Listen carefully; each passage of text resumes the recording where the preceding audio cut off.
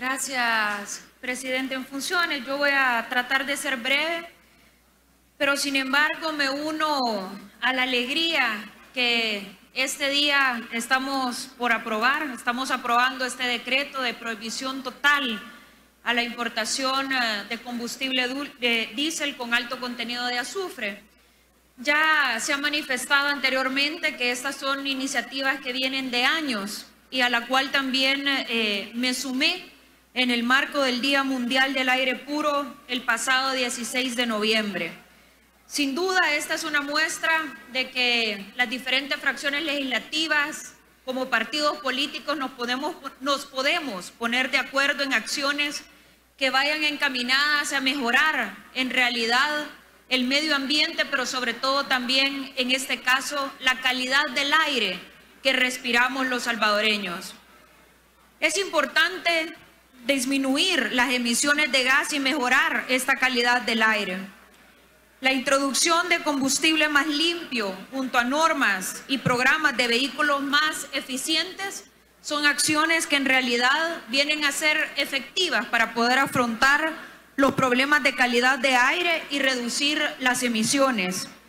Salud Pública, ya lo ha manifestado mi colega diputado doctor Cabrera Candray, de la afluencia que existe hoy en día de salvadoreños pasando consultas en los diferentes hospitales por problemas respiratorios. En lo que va del año, según el Ministerio de Salud, van más de un millón de consultas por problemas respiratorios.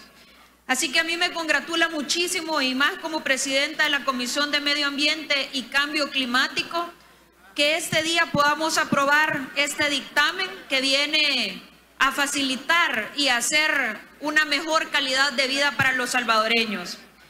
Hay diferentes acciones que podemos seguir eh, haciendo como diputados para que esto se logre dar. Y también he presentado una ley de fomento al transporte eléctrico que eso también vendría a ser un mecanismo que vendría a coadyuvar los problemas que existen también medioambientales y que siempre tienen que ver directamente con la calidad del aire que respiramos los salvadoreños.